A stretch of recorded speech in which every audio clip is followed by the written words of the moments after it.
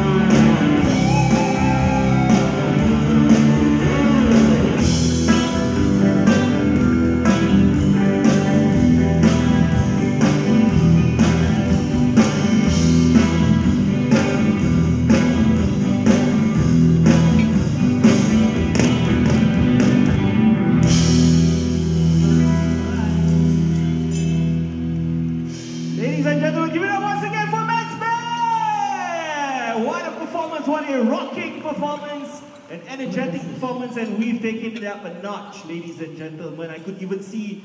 Uh